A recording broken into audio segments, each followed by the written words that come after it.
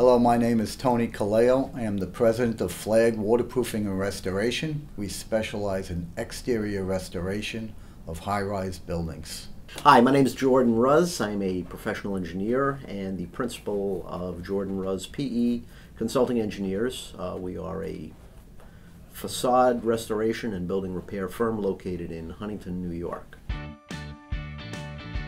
Lido Beach Towers was a beachside hotel uh, built on the shore of the Atlantic Ocean uh, in the 1920s. Uh, was referred to as the uh, Grand Old Lady and the Pink Lady. It was very, very popular and storied building. In the early 80s, it was converted uh, to a 184 unit condominium. And unfortunately, the facade of this building didn't re receive the attention that it deserved in the, in the conversion. They had various coatings on their building, quite a few failures, I believe over 130 leaks in 184 units.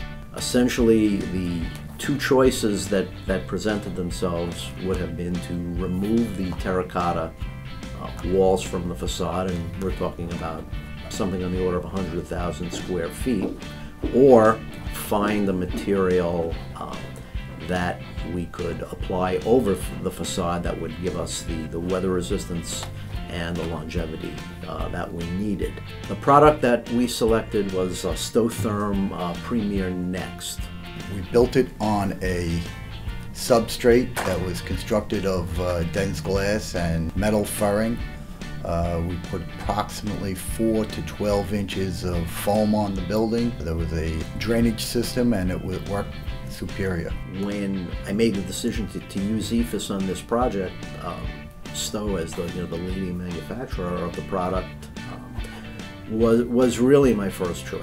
It's the largest EIFS project I've done and I was very uh, impressed with the, the, the ease at which we were able to make the application and the final product. We're thoroughly satisfied. The, uh, the system performed well.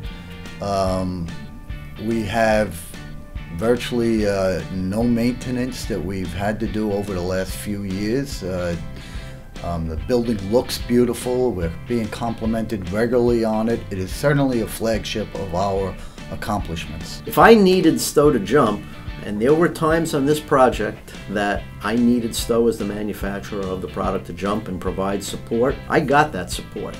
And it allowed me to be a design hero, so to speak, in that I was able to support a lot of decision making regarding colors and textures uh, with a committee that had a lot of preconceived notions about what they wanted. The support services, of course, that I, I received from the local people as well as Atlanta, the scientific background, uh, the ability to uh, figure out the um, thermal problems and the various issues with details was tremendous. Several years after the project uh, was complete, Superstorm Sandy struck Lido Beach uh, with a vengeance. It was probably one of the hardest hit individual locations on the East Coast. The building had a 13 foot surge of water. The base of the building had been completely submerged. The EIFS performed admirably. After the water receded approximately a, uh, a day later, you could not tell that it had been submerged. Subsequent investigation uh, proved that it really, really held up well. We could not have been more delighted.